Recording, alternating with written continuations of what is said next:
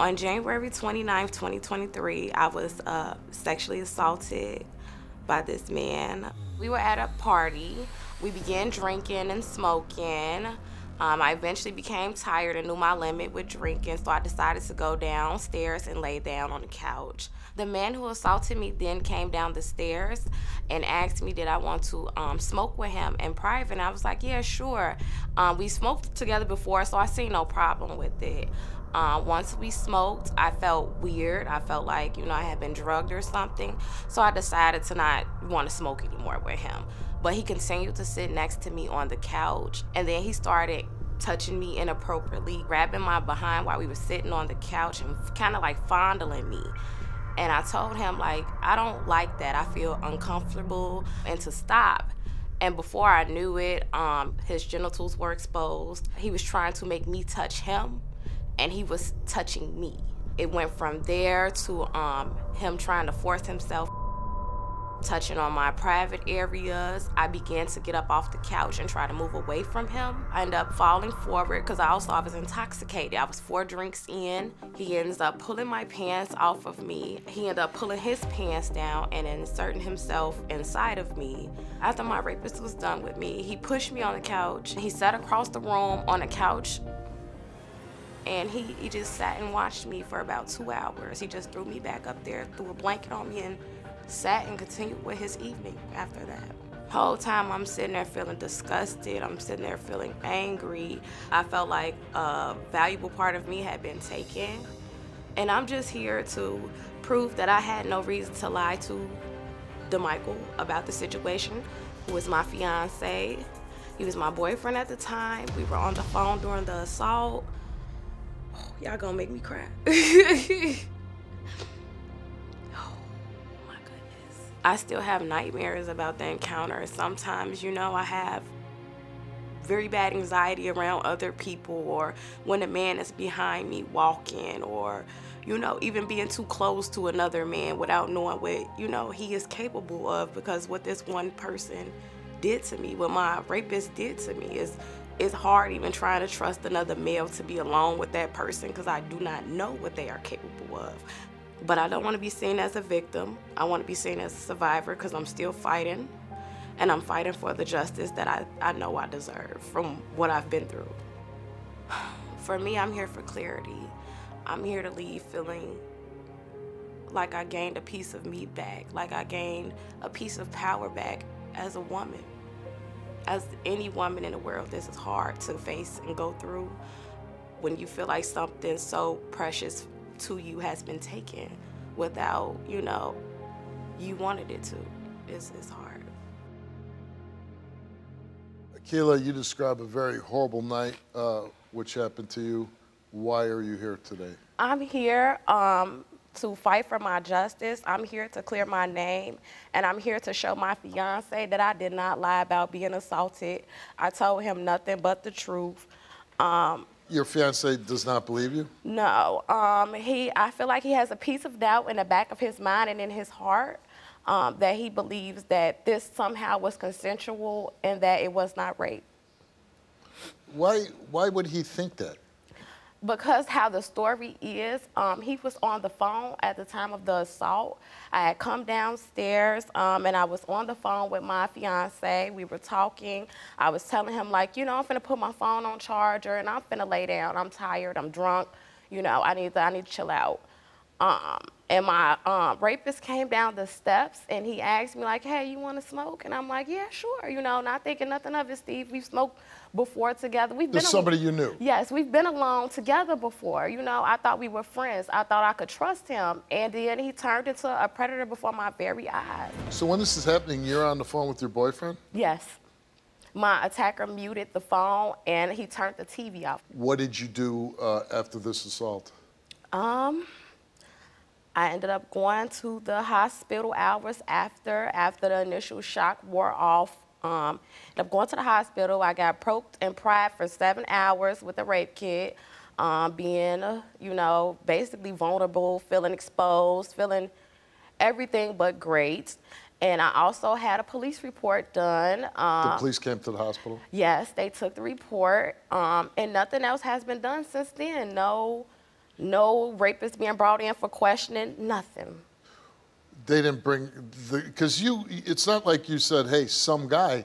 You I, had a name. You knew this person. They know where to find him, and he has not been arrested. No. Did Did you have any follow up with police detectives or police or anything? Um, I did end up going in for questioning. Like a week after the assault, they pulled me in. I did get talked to by a detective, a female detective, and she had the uh, audacity to ask me what was I wearing that night.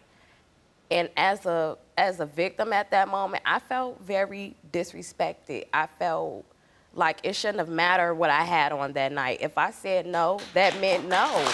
But, but this is a very traumatic yeah. experience for you, and this is. Um, would you mind reading the highlighted part there? Sure.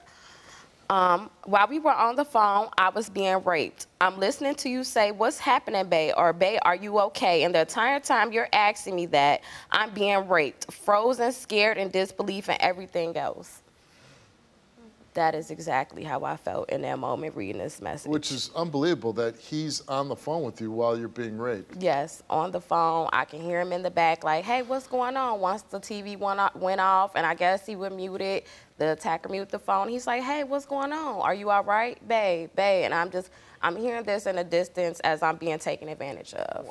I would never lie about that. Did things, after you feel like he doesn't believe you, did things change between the two of you? Yes, they did. Um, we actually basically, you know, things were different. The vibe wasn't the same in the relationship. Um, more arguments started to occur. Uh, and he ended up cheating on me following in February, the very next month.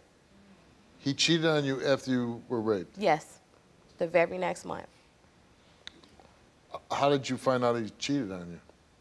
I ended up going through his iPad one day because I was at home. We lived together at this time, Steve. We had just moved in together the day after the assault. Unlock it, then I undisturbed the messages on the iPad, and all his messages end up rolling in from Facebook. And I see one in particular with him talking to a girl. And later come to find out that he actually went to see that girl in February while I was at home freaking out by myself, alone, scared, everything under the sun. This man was out living his best life. You go through this traumatic experience. Mm-hmm. He doesn't believe you. No. He then cheats on you. Mm-hmm. Doesn't sound like a man that's going to stand by your side. That particular night, it took me for a loophole. You know, she told me she was uh, intoxicated, that she wanted to get some rest, and she propped her phone up by the TV. You know, knowing that I can hear her background and how everything was going that day. Uh, one second I hear her TV, I hear her, you know, getting comfort. Then once the mic just turned off and the screen went black, it was completely muted. I couldn't hear anything, I couldn't see anything. But when I realized it was still connected, everything was still perfectly fine. We was on FaceTime. So about 30 minutes, when I would go back, I doze off to sleep. And you know, something in my mind tells me to wake up. So I wake up and that's when I realized the phone had hung up at that moment. And when I called back, it wasn't it was no immediate answer. So I tried again. By the time we got back connected, she was uh by that moment she was so in shock of what had happened that she didn't know how to kind of approach me with it. So when she told me, I didn't know whether to believe it, if it was consensual or know where my mind would go. I was very confused on why she didn't scream my name or try to at least reach for her phone at the moment to let me know what was going on. And honestly, I can really say once I found out the story, I was hurt because knowing I couldn't get to her in that time, it kind of put a small thought in my head like, no, did she cheat? Was it consensual? Was it something that she just wanted to keep a secret and call it uh, rape at the moment? And just, just you know, try to not make me upset.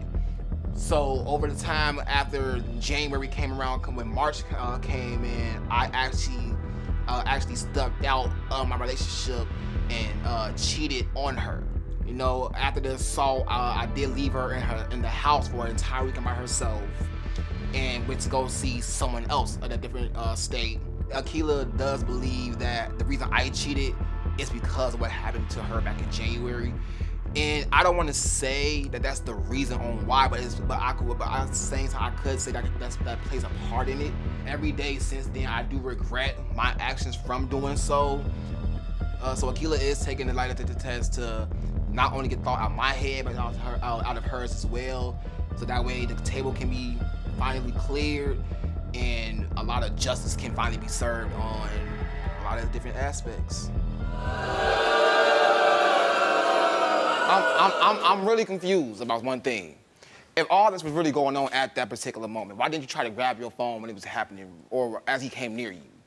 Because mind you, when when it went down, I never saw him come by the phone. I never even knew he was in the room with you. So the fact that this happened and you didn't attempt to reach for your phone or try to make make make, make some type of sound to catch my attention really has me thinking that that's not what happened. My thing is, how you gonna say that unless you're laying there on that living room floor with me in that moment? You don't know how you're gonna react until it's you, and I pray and hope that everybody in here never has to go through that. You're in fight or flight mode. I was fighting for my life. If you're upset that I didn't call for you, I'm sorry.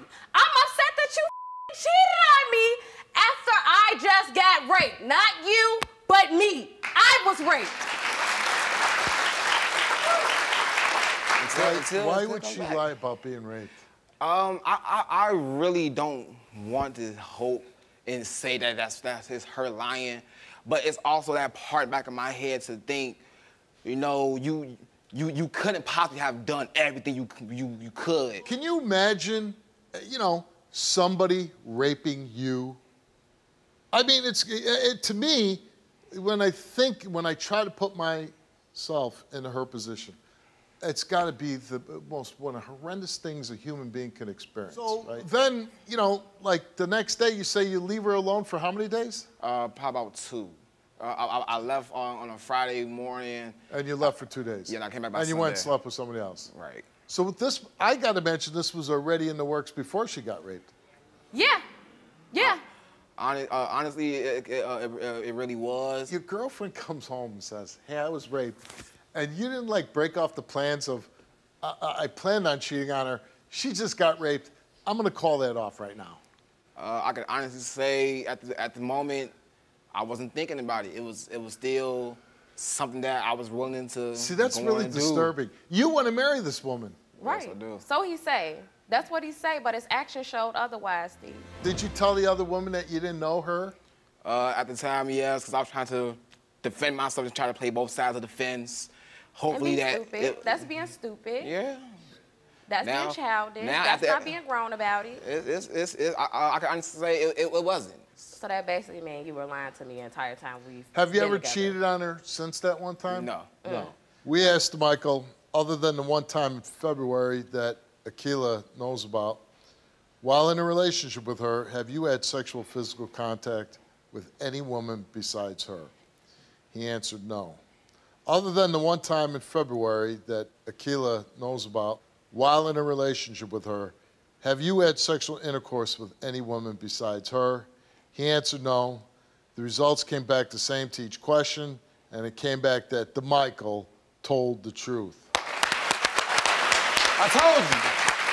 Ever since that, I told you. Aquila, you took a lie detector test. Yes, I did. And we asked you on January 29th, 2023, did you willingly engage in sexual contact with that man in question? You answered no. On January 29th, 2023, did you have consensual sexual uh, intercourse with that man in question? You answered no. Are you lying about any part of the sexual encounter with the man from January 29th, 2023? You answered no. The results came back all the same, and they came back that Aquila told the truth.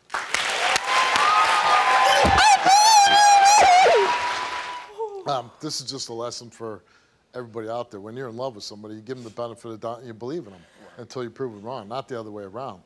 Um, I, I'm really sorry that you had to go through something like that. It, it happens all too many times.